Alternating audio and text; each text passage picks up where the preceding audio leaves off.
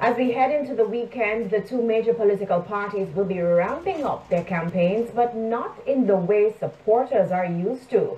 This in light of the coronavirus pandemic. They've been on the road for weeks now, but are they adhering to the protocols?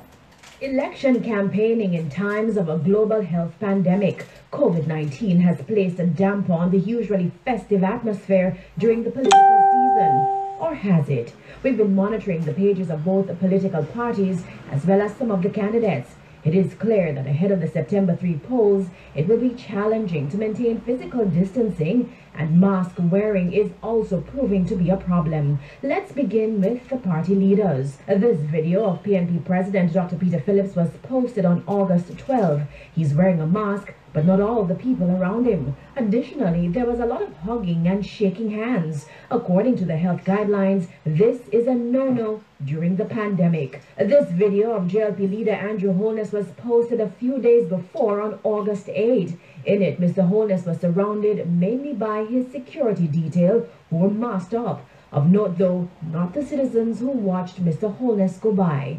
We then came across these of Tourism Minister Ed Bartlett. They were posted on July 21. No masks, no physical distancing. Just like in this video, posted by the PNP's candidate for Northwest St. Ann, Dr. Dayton Campbell, on August 5. Of note, other senior members of the party, including the co-campaign director Peter Bunting and PNP General Secretary Julian Robinson, were also in the crowd without masks. In announcing the election date this week, Prime Minister Andrew Holness said there will be protocols in place to prevent the spread of the coronavirus during the political season. The parties have met to finalize the rules. Once that is done, then I will place them in the Disaster Risk Management Act as orders which means consequences will flow for breaches. It is very difficult. I have been on the road. I have seen it.